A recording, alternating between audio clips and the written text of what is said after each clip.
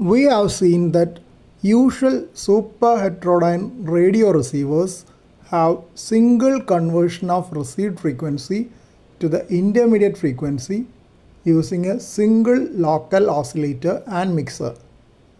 In many of the modern communication receivers, multiple successive stages of frequency conversions with multiple intermediate frequencies are used. A receiver with two frequency conversions and two intermediate frequencies is known as a double or dual conversion super heterodyne receiver.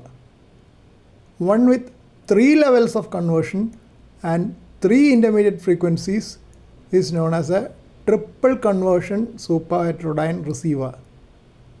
Use of additional conversions improve adjacent channel selectivity